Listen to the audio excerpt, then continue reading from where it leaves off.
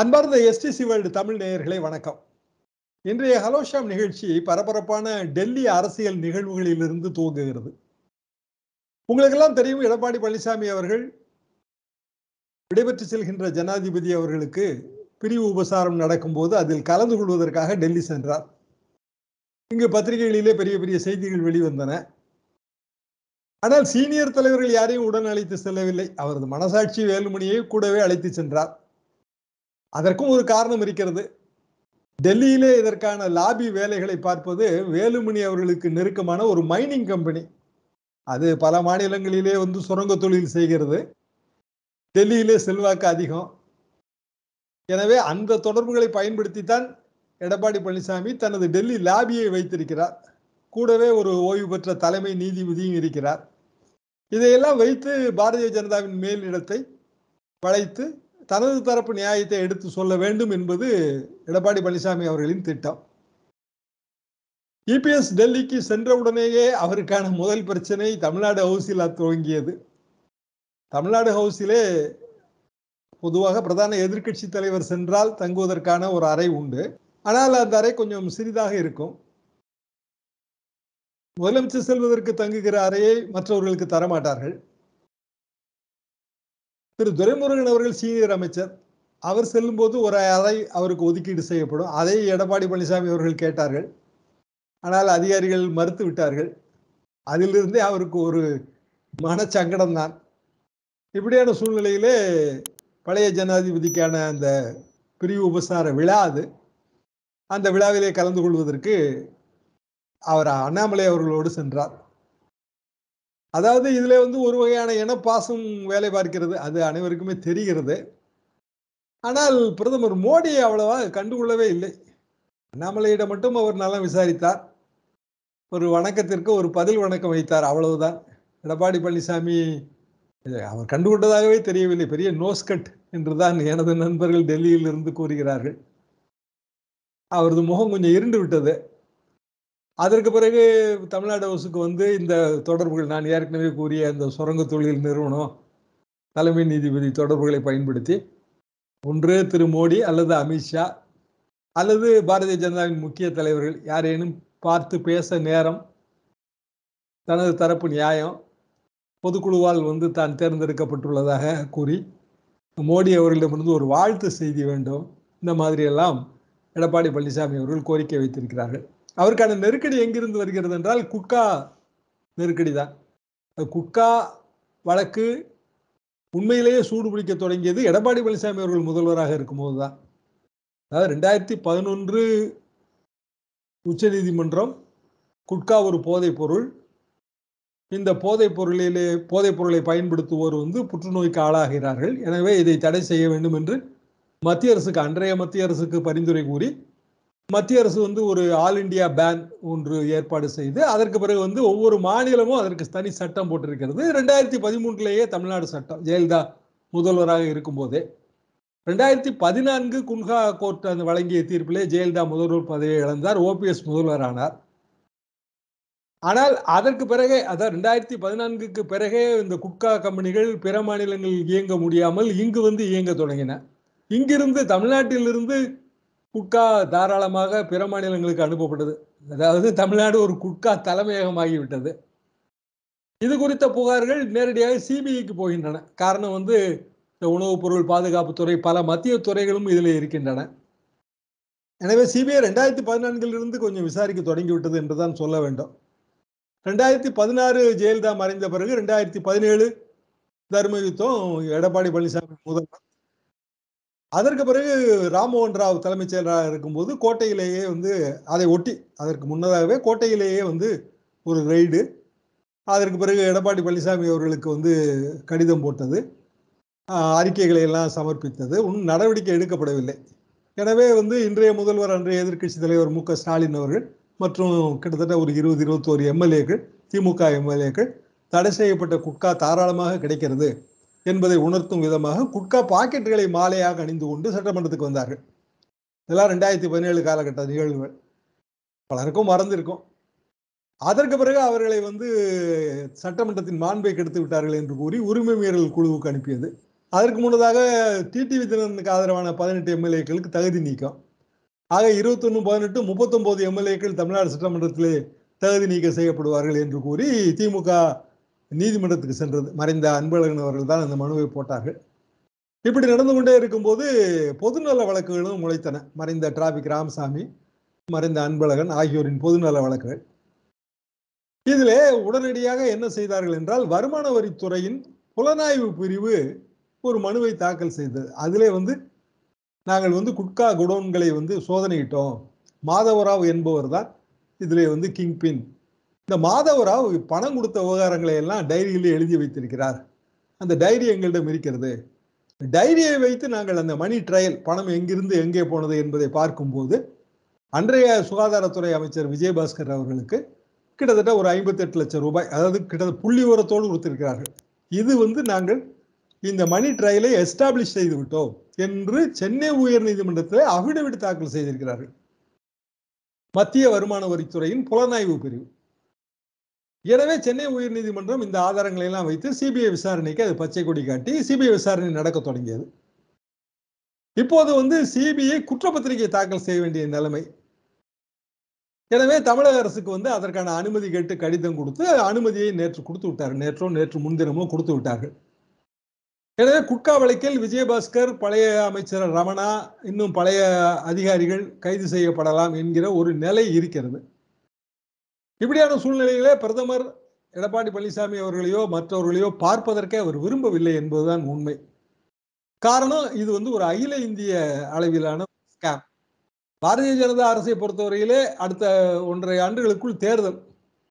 இப்படியான சூழ்நிலையிலே இந்த அகில இந்திய அளவிலான ஸ்கேம் ஏனென்றால் இது வந்து தெலுங்கானா பாண்டிச்சேரி இன்னும் பல மாநிலங்களிலே வந்து ரெய்டு நடத்தி பல மாநிலங்களில் இந்த மாதவராவிடமிருந்து போன குட்கா அங்கு வந்து வருமான வரி ஏய்ப்பு ஹவாலா இப்படி வந்து அகில இந்திய அளவிலே நெட்ஒர்க் உள்ள ஒரு மிகப்பெரிய ஊழல். அதில் வந்து விஜயபாஸ்கர் மிக ஒரு பெரிய சூத்திரதாரியாக இருக்கிறார். விஜயபாஸ்கர் கை காட்டினால் ஒருவேளை எடப்பாடி பழனிசாமியை நோக்கி அவர் கை காட்டலாம். விஜயபாஸ்கர் சிங்கப்பூருக்கு போய்விட்டார். சிங்கப்பூர்லேருந்து திரும்புவாரா என்ன அது தெரியவில்லை. இவ்வளவு பெரிய ஒரு இக்கட்டான சூழ்நிலை. இதிலே வந்து பாரதிய ஜனதா தலையிட்டு இந்த பிரச்சனைகளே எடப்பாடி பழனிசாமிக்கு ஆதரவாக சுண்டுவர்களை கூட உயர்த்துவதற்கு அவர்கள் தயாராக இல்லை. இதுதான் நிஜம். எனது நண்பர்கள் என்ன கூறினார்கள் என்றால் இப்படி ஒரு கிரவுண்ட் ரியாலிட்டி இருக்கும்போது எதற்காக இவர் டெல்லி வந்தார்? கண்டிப்பாக அங்கு இவருக்கு நோஸ்கட் கிடைக்கும் என்பது அனைவருக்குமே தெரியும். பொதுவாக விடைபெற்று செல்கின்ற ஜனாதிபதிக்கான அந்த நிகழ்ச்சியிலே மாநிலங்களில் இருந்தெல்லாம் பெரிதாக யாரும் கலந்து கொள்வது இல்லை. புதிய ஜனாதிபதி பதவியேற்பு விழாவிலே வந்து இது தேசிய ஜனநாயக கூட்டணியின் ஒரு அங்கம் என்ற முறையிலே அதிமுக கலந்து கொள்ளலாம். அது மரபுதான். ஆனால் அந்த நிகழ்ச்சியை புறக்கணித்து விட்டு சென்னை திரும்பி விட்டார் எடப்பாடி பழனிசாமி. அதாவது ஓ, பழைய ஜனாதிபதிக்கு விடை கொடுக்கும் விழாவிலே அவர் இருந்தார். இன்று நடைபெறுகிற இந்த ஜனாதிபதியின் விழாவிலே பதவியேற்பு விழாவிலே அவர் இல்லை. இருக்க வேண்டிய இடத்திலே இல்லை. இருக்க வேண்டாத இடத்திலே இருக்கிறார். ஏன்? இது அவரது அரசியல் திட்டத்தின் தோல்வி என்றுதான் நான் நினைக்கிறேன். ஆக எடப்பாடி பழனிசாமி அவர்களும் அவரை சார்ந்தவர்களும் தனித்து விடப்பட்டிருக்கிறார்கள். ஆனால் அதிமுக என்கிற கட்சி மாபெரும் கட்சி எம்ஜிஆரால் உருவாக்கப்பட்ட கட்சி எந்த காலகட்டத்திலும் எம்ஜிஆர் அவர்கள் தனக்கு இருக்கின்ற அந்த கிரிப் அதை விட்டு கொடுத்ததே கிடையாது. மொராய் தேசாய் அந்த ஆயிரத்தி தொள்ளாயிரத்தி எழுபத்தி ஏழுல பிரதமரான போது கூட அவர் எம்ஜிஆரிடம் கோவித்து கொண்ட போது கூட எம்ஜிஆர் தென்னக முதல்வர் மாநாட்டை இங்கு கூட்டினார். இத்தனைக்கும் வந்து தென்னகத்திலே அப்போது ஜனதா கட்சி சார்பாக ஒரு முதல்வர் கூட கிடையாது. ஆயிரத்தி தொள்ளாயிரத்தி எழுபத்தி எட்டு அதே போல இந்திரா காந்தி அம்மையார் கோவித்து கொண்டு இருந்த போது பெங்களூரில் நடைபெற்ற தென்னக முதல்வர் மாநாட்டில் எம்ஜிஆர் கலந்து கொண்டார். இந்திரா காந்தி அம்மாவுக்கு பெரிய பரம வைரிய அன்றைக்கு கர்நாடக முதல்வர் ஹெக்டே. ஹெக்டே வந்து ஆயிரத்தி தொள்ளாயிரத்தி அறுபத்தி ஒன்பதில் ஸ்தாபன காங்கிரஸ் பிரிந்த போதே இந்திரா காந்திக்கு எதிராக குரல் கொடுத்தவர். இந்திரா காந்தி அம்மையார் பிரதமராக இல்லாத போது ஆந்திராவிலே அன்றைக்கு இருந்த ஒன்றுபட்ட ஆந்திராவிலே காங்கிரஸ் கட்சி ஜெயித்திருந்தது. பிரதமரான பிறகு என்டிஆர் கட்சி தொடங்கி ஏழே மாதத்தில் காங்கிரஸ் கட்சியை வீட்டுக்கு அனுப்பினார். ஆக இந்திரா காந்தியின் இன்னொரு எதிரி என்டிஆர். பழைய எதிரியும் புதிய எதிரியும் சேர்ந்திருக்க நடுவிலே நடுநாயகமாக எம்ஜிஆர். பிரதமர் இந்திரா காந்தி அவரது கோபத்தை பற்றியெல்லாம் அவர் கவலைப்படவே இல்லை. ஆனாலும் தனக்கு வேண்டிய விஷயங்களை உதாரணமாக ஈழத்தமிழர்களுக்கான ஆதரவு நிலைப்பாடு அதையெல்லாம் எம்ஜிஆர் வந்து மத்திய அரசிடம் சாதித்து கொண்டார் என்பதுதான் உண்மை. இன்னும் சொல்ல போனால் உடல்நலம் சரியில்லாத இருந்தபோது தமிழக அரசின் நிதிக்காக போகும்போது மன்மோகன் சிங் அவர்கள் நிதிக்குழுவின் தலைவர். நீங்கள் என்ன உங்க இஷ்டத்துக்கு திட்டங்களை அறிவிக்கிறீர்கள்? நிதிக்கு எங்கே போவது என்று மன்மோகன் சிங் கடிந்தவுடன் எம்ஜிஆர் திருட்டென்று எழுந்து விட்டார். அவருடன் போன ஒரு அதிகாரி என்னிடம் கூறினார் உடனே ரா- பிரதமர் ராஜீவ்காந்தியிடமிருந்து போன் வந்து அவர் கேட்பதை கொடுத்து விடுங்கள் என்று மன்மோகன் சிங்குக்கு கூறப்பட்டது. அவர் வந்து தமிழகத்துக்கு வேண்டிய நிதியை பெற்றுக்கொண்டு திரும்பினார். இதுதான் வரலாறு. வடக்கை எப்படி வைக்க வேண்டும் எந்த இடத்திலே வைத்து எப்படி வேலை வாங்க வேண்டும் வடக்கை எப்படி வசப்படுத்த வேண்டும் என்பதிலே எம்ஜிஆர் தான் எம்ஜிஆர். அவருக்கு நிகராக யாருமே கிடையாது என்று அவர் சொன்னார். எதற்காக நான் சொல்கிறேன் என்றால் இவர்கள் ஏதோ டெல்லி பஞ்சாயத்து தங்களுக்கு ஆதரவாக இருக்கும் என்று இங்கிருந்து அங்கு காவடி தூக்குகிறார்கள். ஆனால் டெல்லி இவர்களை சீந்துவதாக தெரியவில்லை. இப்படியான சூழ்நிலையில் எடப்பாடி பழனிசாமி இங்கு திரும்பி விட்டார் அதே நேரத்தில் வேண்டுமென்றே இன்னொரு புகைப்படம் வைரல் ஆகிறது. அது ஓபிஎஸ் மகன் ரவீந்திரநாத்தோடு கேஷுவலாக ஒரு நண்பர் போல சிரித்து பேசிக்கொண்டு பிரதமர் மோடி அவர்கள் வருகிற புகைப்படம். இப்படி டெல்லி என்கிற அந்த தந்திர பூமி டெல்லி என்கிற அந்த சாணக்கியபுரி டெல்லி என்கிற அந்த இரத்த பூமி இதன் நெளிவு சுழிவுகளை எடப்பாடி பழனிசாமி புரிந்து கொண்டதாக தெரியவில்லை. அல்லது இரட்டைகளை போனாலும் பரவாயில்லை. கொங்கு மண்டலத்திலே காங்கிரஸ் கட்சியோடு கூட்டணி வைத்து குறைந்தபட்சம் பத்து தொகுதிகளாவது நாம் வெற்றி பெறலாம். அதற்கு பிறகு அதாவது ரெண்டாயிரத்தி இருபத்தி நான்கிலே பத்து பாராளுமன்ற தொகுதிகளை வெற்றி பெற்றால் அதிமுக தன் கைக்கு வரும். இப்படியான ஒரு செயல் திட்டம் இருப்பதாக எடப்பாடி பழனிசாமியின் நெருக்கமான வட்டாரங்கள் நமக்கு கூறுகின்றன. தூரத்து கனவு மாதிரி எனக்கு தெரிகிறது. பல நேரங்களில் அரசியல் கனவுகள் கள்ளச்சாவிகள் தான். தொடர்ந்து நான் அதை பார்த்து வருவதுதான். எல்லா கணக்குகளும் போடுவார்கள். இந்த ஜாதிக்கு இவர் இருக்கிறார் அந்த ஜாதிக்கு இவர் இருக்கிறார் எல்லா ஓட்டும் உங்களுக்கு தான். இது வழக்கமாக சொல்லப்படுகிற உண்மை. ஆனால் அதெல்லாம் நடப்பதில்லை. உதாரணமாக வன்னியர்கள் அதிகமாக இருக்கிற தொகுதியில் எல்லா கட்சிகளும் வன்னியர்களை தானே போடுவார்கள்? அப்படி என்றால் வன்னியர் அல்லாதோர் ஓட்டை வாங்கித்தானே ஜெயிக்க முடியும்? இப்படி வெறுமனே ஜாதி வலிமையை வைத்து ஜெயித்ததாக சரித்திரமே கிடையாது. அது ஓரளவுக்கு உதவி செய்யலாம் அவ்வளவுதான். ஆனால் எடப்பாடி பழனிசாமி அவர்கள் இன்னமும் அந்த ஒரு மாவட்ட அளவிலான அரசியல்வாதியாகத்தான் தெரிகிறாரே தவிர ஒரு பேன் இந்தியா அகில இந்திய அளவிலே அரசியல் செய்வதற்கான அந்த நுணுக்கம் அவருக்கு இருப்பதாகவும் தெரியவில்லை. அவரை சுற்றி இருப்பவர்களுக்கும் அது இருப்பதாக தெரியவில்லை. காரணம் நேற்றைக்கு இவ்வளவு பெரிய பிரச்சனையோடு எடப்பாடி பழனிசாமி இங்கு திரும்புகிறார். ஜெயக்குமார் அவர்கள் அங்கே போய் பார்க்கிறார் எடப்பாடி பழனிசாமியை. சிறிது நேரத்தில் ஜெயக்குமார் பேட்டி கொடுக்கிறார். அதெல்லாம் முடிந்த கதை. அதிமுக என்பது முடிந்த கதை. நாங்கள் வந்து ஒற்றை தலைமையை நோக்கி பயணப்பட்டு விட்டோம். எடப்பாடியார் தான் எங்களது ஒற்றை தலைமை. அது டெல்லி என்ன சொன்னால் என்ன? என்கிற ரீதியிலே அவர் ஒரு பேட்டி கொடுக்கிறார். அதை பார்த்து இங்க இருக்கிற பாரதிய ஜனதா தலைவர்களே அதிர்ச்சி அடைந்து விட்டார்கள். இதில் கணக்கு என்ன? ஒரு ஓட்டு வங்கி என்பது ஒரு கணக்கு. நான் ஏற்கனவே கூறியபடி ஒரு ஜாதியின் ஓட்டு வங்கி அப்படியே முழுமையாக கிடைப்பதில்லை. ஆனால் பல ஜாதிகள் பல கட்சிகளுக்கு அனுசரணையாக இருக்கின்றன. அப்படி நாம் பார்க்கலாம். எம்ஜிஆர் காலத்து ஓட்டு வங்கி என்பது முக்குளத்தோர் ஓட்டு வங்கி கவுண்டர் ஓட்டு வங்கி முத்தரையர் ஓட்டு வங்கி மீனவர் ஓட்டு வங்கி அருந்ததியர் ஓட்டு வங்கி இப்படி பல்வேறு ஓட்டு வங்கிகளால் ஆனது. இன்னும் சொல்ல போனால் பிராமணர்கள் கூட எம்ஜிஆர் காலத்திலும் ஜெயலலிதா காலத்திலும் அதிமுகவுக்கு ஆதரவாக இருந்தார்கள். சவுத் மெட்ராஸ் தொகுதியிலே இலகணேசன் பாரதிய ஜனதா சார்பாக நிற்கும்போது இப்போது ஆளுநராக இருக்கிறாரே. எங்களுக்கு ரொம்ப தெரிந்தவர். அவர் நிற்கும்போதே அவருக்கு நாற்பதாயிரம் வாக்குகள் தான் கிடைத்தன. இத்தனைக்கு பிராமணர் தொகுதி. காரணம் வந்து அந்த பிராமண ஓட்டு வங்கி ஜெயலலிதா ஆதரவாக இருந்தது. மோடியா லேடியா அந்த கேள்வி எழுப்பப்பட்ட ரெண்டாயிரத்தி பதினான்கு அந்த காலகட்டத்துக்கு முன்பு நடந்த தேர்தல் அதை நான் சொல்கிறேன்.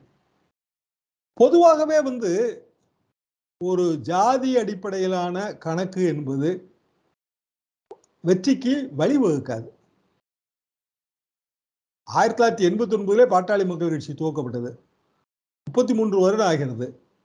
அவர்களால் அந்த குறிப்பிட்ட வட்டத்தை தாண்டி வர முடியவில்லை அல்லவா? ஆனால் எம்ஜிஆர் அரும்பாடுபட்டு அனைத்து ஜாதிக்கு ஜாதியினருக்கும் பொதுவானவராக தன்னை காட்டிக்கொண்டு அனைத்து மதத்தினருக்கும் பொதுவானவராக தன்னை காட்டிக்கொண்டு மேரா நாம் அப்துல் ரஹ்மான் என்றெல்லாம் பாடி ஒரு ஓட்டு வங்கியை உருவாக்கி வைத்திருக்கிறார். அந்த ஓட்டு வங்கியை இப்போது ஒரு குறிப்பிட்ட எல்லைக்குள் குறிப்பிட்ட இனத்துக்குள் சுருக்குகிறார்கள். அது பெரிய தவறு என்றுதான் நான் நினைக்கிறேன். இந்த சூழ்நிலையிலே ஜெயக்குமார் போன்றவர்கள் அனுகூல சத்துருக்கள். அவர்கள் சும்மா இருந்தாலே பிரச்சனை இருக்காது. ஆனால் சொரிந்து விடுகிறார்கள். அதுதான் உண்மையிலேயே சிக்கல். ஆக எடப்பாடி பழனிசாமியின் ஒரே நம்பிக்கை இப்போது என்னவென்றால் வரவிருக்கிற செஸ் ஒலிம்பியாட். அரசியல் சதுரங்கம் உண்மையிலேயே இருபத்தெட்டாம் தேதி தான் சென்னையில் தொடங்குகிறது. உலக சதுரங்க போட்டி ஒரு பக்கம் இருக்கட்டும். இது அரசியல் சதுரங்கம். இருபத்தெட்டாம் தேதி பிரதமர் வரும்போது ஓபிஎஸும் இபிஎஸும் பிரதமரை சந்திக்க நேரம் கேட்டிருக்கிறார்கள். கொடுப்பாரா என்று நமக்கு தெரியாது. ஒருவேளை கொடுத்தால் ஓபிஎஸ்ஐ மட்டும் தனியாக சந்தித்து அப்படியே வந்து அவரோடு பேசி அனுப்பி விடுகிறாரா? இல்லை இருவரையும் ஒரு இடத்தில் வைத்து பேச போகிறாரா? இது எதுவுமே தெரியாது. ஆனால் எடப்பாடி பழனிசாமி அவர்கள் அதை நம்புகிறார்கள். அந்த நம்பிக்கையின் அடிப்படையாக பாரதிய ஜனதா தனக்கு ஆதரவளிக்கும் என்றும் எண்ணுகிறார். அப்படி ஆதரவளிக்காவிட்டால் என்ன செய்வது என்பதற்கும் ஒரு மாற்று திட்டம் வைத்திருக்கிறார். இரட்டை இலை இல்லாமல் போனாலும் பரவாயில்லை. ரெண்டாயிரத்தி இருபத்தி நான்கிலே காங்கிரஸ் கட்சியோடு கூட்டணி வைத்தால் குறைந்தபட்சம் பத்து இடங்கள். காரணம் அந்த கோயம்புத்தூர் அந்த பகுதிகளிலே காங்கிரஸ் கட்சிக்கு இருக்கிற ஓட்டு வங்கியை அவர் கணக்கிலே வைக்கிறார். திமுகவுக்கும் காங்கிரஸுக்கு இடையிலே ஒரு விரிசல் இருக்கிறது என்று நினைக்கிறார். இத்தனைக்கும் புதிய ஜனாதிபதி அவருக்கு பொதுவாக பதவியேற்ற பிறகு அன்று மாலை வந்து அவருக்கு விருந்து நடக்கும். அந்த விருந்திலே கலந்து கொள்வதற்கு வந்து மாநிலங்களிலிருந்து முதல்வர்கள் துணை முதல்வர்கள் அவர்களுக்கு அழைப்பு உண்டு. அப்படியான அழைப்பு இங்கும் விடுக்கப்பட்டது. திரு மு க. ஸ்டாலின் அவர்களுக்கு. இங்கு துணை முதல்வர் கிடையாது. ஆனால் மு க. ஸ்டாலின் அவர்கள் அவரது உடல்நிலையை காரணம் காட்டி அவர் போகவில்லை. அவருக்கு பதிலாக வேறு யாரேனும் கலந்து கொள்ளலாமா என்று கேட்டதற்கு டெல்லி மறுத்து விட்டது. காரணம் அது மரபு கிடையாது என்று. அதிமுகவிலிருந்து யாருக்கும் அதிலே அழைப்பு கிடையாது. இப்படியான ஒரு சூழலில் டெல்லியின் தயவை வைத்துத்தான் அரசியல் நடத்த வேண்டும் என்ற நிலையில் எம்ஜிஆரின் அதிமுக இருப்பது நல்லதா? அது வந்து ஒரு தமிழ்நாடு அரசியலிலே எத்தகைய உணர்வுகளை தோற்றுவிக்கும்? பொதுவாகவே இங்கு நாம் வெளியூர் பஞ்சாயத்தை விரும்புவதில்லை. உங்களுக்குள் பிரச்சனை இருக்கிறது. நீங்களே பேசி முடிவு செய்து தீர்த்து கொள்ள வேண்டும். இரட்டை தலைமை வேண்டாம் ஒற்றை தலைமை என்றால் அந்த ஒற்றை தலைமை தமிழ்நாட்டின் எங்கு நின்றாலும் வெற்றி பெற்று விடுவார்களா? அது எப்படி சாத்தியம்? இப்படியான சூழ்நிலையில் அவரவர்களுக்கு அவரவர்கள் உயரம் தெரிய வேண்டும். இவ்வளவுதான் உங்கள் உயரம். இவ்வளவுதான் நீங்கள் வளர்ந்திருக்கிறீர்கள். சேலத்தை தாண்டி உங்கள் செல்வாக்கு கிடையாது. தேனியை தாண்டி உங்கள் செல்வாக்கு கிடையாது. நீங்கள் எம்ஜிஆரும் கிடையாது ஜெயலலிதாவும் கிடையாது. ரெட்டையிலை ஒன்றுதான் உங்களது ஒரே நம்பிக்கை. அந்த ரெட்டையிலை பறிபோனால் பறிபோனாலும் பரவாயில்லை. நாங்கள் வந்து மாற்று கூட்டணி அமைத்து பாமக காங்கிரஸ் அதிமுகவின் எடப்பாடி பழனிசாமி பிரிவு ஆகியோர் சேர்ந்தால் இத்தனை தொகுதிகள் நிச்சயம் என்று ஒரு கணக்கு போடுகிறார்கள். இதிலே பாமகவை எப்படி நம்புகிறார்கள் என்றும் தெரியவில்லை. காரணம் அவர்கள் வந்து தேர்தலுக்கு தேர்தல் கூட்டணியை மாற்றுவார்கள். அவர்கள் பாரதிய ஜனதா கூட்டணிக்கு இதே கணக்கோடு போய் பாரதிய ஜனதா ஓபிஎஸ் பாமக டிடிவி தினகரன் அமமுக கிருஷ்ணசாமியின் கட்சி வாசனின் கட்சி இப்படி சேர்த்தால் அவர்களின் ஓட்டு வங்கியும் அதுவும் உயரத்தானே இருக்கும். ஒட்டுமொத்தத்திலே திமுக திமுகவுக்கு எதிர்ப்பு ஓட்டு வங்கி. திமுகவின் எதிர்ப்பு ஓட்டு வங்கி பிளவுபட்டால் இறுதி லாபம் வந்து திமுகவுக்கு தானே. நாற்பதுக்கு முப்பது தொகுதிகளிலே ஜெயலலிதா ஜெயித்தார். எப்போது என்றால் ஆயிரத்தி தொள்ளாயிரத்தி தொண்ணூத்தி எட்டு தொண்ணூத்தி ஆறு ப- பெரிய தோல்வி படுதோல்வி. ஜெயலலிதாவே பர்கூரில் தோற்று போனார். ரெண்டோ மூன்றோ எம்எல்ஏக்கள் தான். ஏராளமான வழக்குகள். தொண்ணூத்தேழு நகராட்சி தேர்தல். திரு ஸ்டாலின் இன்றைய முதலமைச்சர் திரு ஸ்டாலின் மேயர். ஆறு மாநகராட்சிகள் எல்லாம் திமுக கைப்பற்றியது. அடுத்த ஒரு எட்டு பத்து மாதத்தில் தேர்தல் மக்களவை தேர்தல். டெல்லியிலே ஆட்சி கவிழ்ந்து மக்களவை தேர்தல் வருகிறது. ஜெயலலிதா என்ன செய்தார்? திமுக தமாக கூட்டணி வலிமையானது. திமுக ஆட்சியிலே இருக்கிறது. ரஜினி ஆதரவு. இதை எதிர்கொள்ள வேண்டும் என்றால் இந்த எதிர்ப்பு ஓட்டுகளை பிளவுபட விடாமல் தடுக்க வேண்டும். எனவே பாமக மதிமுக பாரதிய ஜனதா எல்லாவற்றையும் ஒரு அணிக்கு கொண்டு வந்தார் இத்தனைக்கும் வந்து அதிமுக மிக கடுமையாக ஒரு விமர்சனம் செய்த கட்சி. பாமக மிக கடுமையாக விமர்சனம் செய்த கட்சி. அதை விட சுப்பிரமணிய சாமிக்கும் ஒரு சீட்டு வாழப்பாடி ராமமூர்த்திக்கு ஒரு சீட்டு. சுப்பிரமணிய சாமி தான் வழக்குகளுக்கே மூல காரணம். வாழப்பாடி ராமமூர்த்தி ஜெயலலிதாவுக்கு எதிராக ஊழல் புகார் பட்டியல் கொடுத்தார். அவர்களுக்கும் ஒவ்வொரு சீட்டு. தமிழ்நாடு ராஜீவ் காங்கிரஸ் என்று ஒரு கட்சி வைத்திருந்தார் வாழப்பாடி ராமமூர்த்தி அவர்கள். சேலம் பகுதியிலே அவங்களுக்கான அந்த வன்னியர் ஓட்டு வங்கி அது நமக்கு வேண்டும் என்பது ஜெயலலிதா அவர்களின் திட்டம். செல்வ கணபதி வெற்றி பெற வேண்டிய ஒரு க நிலைமையை அப்படித்தான் உருவாக்கினார்கள் அந்த காலகட்டத்தில். தொண்ணூத்தி ஒன்பதுல செல்வ கணபதி தொண்ணூத்தெட்டுல இந்த கூட்டணி தொண்ணூத்தி ஒன்பது செல்வ கணபதி வெற்றி பெறுகிறார். வாழப்பாடி எழுத்து தொண்ணூத்தி வெற்றி பெற்ற வாழப்பாடி ராமூர்த்தி எழுத்து ஒரு வருடத்துல செல்வ கணபதி வெற்றி பெறுகிறார். காரணம் அந்த வன்னியர் ஓட்டு வங்கி அங்கு முக்கியத்துவம் பெறுகிறது. இப்படியான கணக்குகள் நிரம்பியது ஆக மிக பலமான திமுக தமாக கூட்டணியை இந்த மாதிரியான ஒரு ராக்டாக் அலையன்ஸை வைத்து ஜெயலலிதா வெற்றி கண்டு நாற்பது தொகுதிகளில் முப்பது தொகுதிகளை பெற்றார். அதுதான் அவரது அரசியல் வாழ்க்கைக்கு அடுத்த திருப்பு முனையாக அமைந்தது. இப்படியான பல்வேறு கணக்குகளை போட்டு நகர்த்த வேண்டிய ஒரு அரசியல் அதை வந்து வெறுமனே ஒற்றை ஜாதியின் அடிப்படையிலே நகர்த்த முடியுமா? எனக்கு என்னமோ அது முடியாது என்றுதான் நான் நினைக்கிறேன். என் அனுபவத்தில் நான் பார்த்த வகையிலே அது முடியாது. எது எப்படி இருந்தாலும் வரவிருக்கிற செஸ் ஒலிம்பியாடுக்காக காத்திருப்போம். நான் கூறுகிற செஸ் ஒலிம்பியாடு என்பது இருபத்தி எட்டாம் தேதி நடைபெற இருக்கின்ற தமிழ்நாடு அரசியல் சதுரங்கம்.